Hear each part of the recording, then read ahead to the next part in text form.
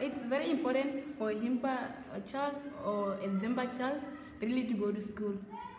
Because now, as we, to be honest, we are facing a world of like technology, hmm? whereby you have to write your name, whereby you have to read and write, which is very important.